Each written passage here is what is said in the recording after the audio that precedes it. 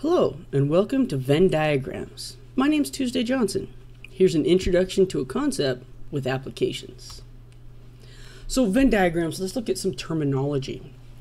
A Venn diagram is a visual representation of sets and how they interact. It's named after John Venn, um, hence the capital Venn diagrams. A Venn diagram consists of a universal set. All right, this is the the everything that's under consideration. We'll either call it a U or we'll call it an S. Uh, we're going to use S. I'm going to use S for the most part. Uh, this is all sets, all elements, all everything under consideration in this rectangular window. Now the sets are represented by subsets of S, are represented by circles, and we'll label them sometimes with their, their name inside the set itself, sometimes it'll be outside, it just depends.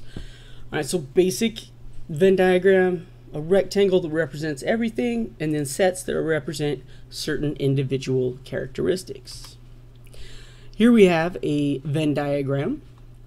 And with this Venn diagram, we see that the heart is an element of A because heart is inside the set A, whereas happy face is not an element of A because the happy face is not inside the circle for A.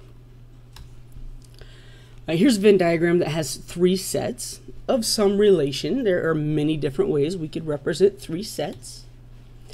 But here we see that C is a subset of A. Since the set C is completely contained in the set A, the circle for the set C is completely contained in the circle for the set A.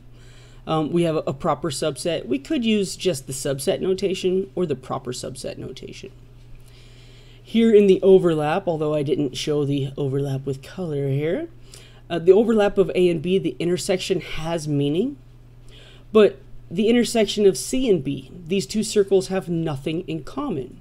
Frequently, we will say C intersect B equals the empty set, or we'll say that they are mutually exclusive. Mutually exclusive means they have nothing in common.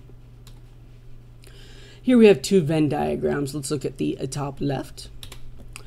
The union of two sets includes everything in A, everything in B, and whatever they have in common. All right, A union B, marriage uh, is one of the unions that we are familiar with. It's all of your stuff, all of their stuff, all the stuff you got together. Down here in the bottom right, we see the intersection of two sets includes only the overlap from A and the overlap from B. It's where they intersect or overlap each other. It's where they're hooked up. It's in A and in B. So you can make a little crossbar here. A and B, that's where they share their edges. The Pecan Grill and Brewery in Las Cruces, New Mexico has a menu with plenty of green chili and pecans in many of their food and drink selections.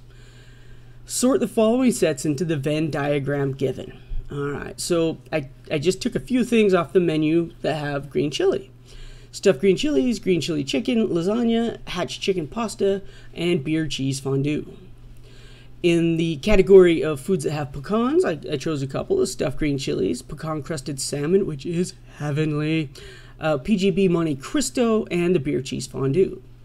So if I want to sort these two sets into Venn diagrams, I would start with the stuffed green chilies. And I ask myself, all right, stuffed green chilies definitely in the chili circle, but look, it's also in the pecan circle. So if it has to be in chili and it has to be in pecan, it has to be in their overlap. This will be part of their intersection. Green chili chicken lasagna does not have pecans. So I'll put it inside the chili circle but not inside the pecan circle. Hatch chicken pasta is not in the pecan circle. Hatch chicken pasta. And beer cheese fondue happens to have both chili and pecans, so it'll be in the overlap. Now I've looked at everything from the chili list, so now I'm going to go to the pecan list and see what I haven't listed yet.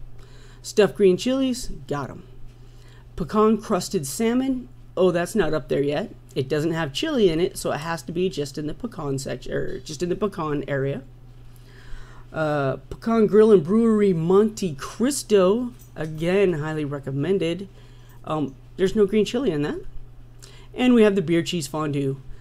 uh, in the overlap already taken care of. We've gone through each set, we've compared. Is it just in chili?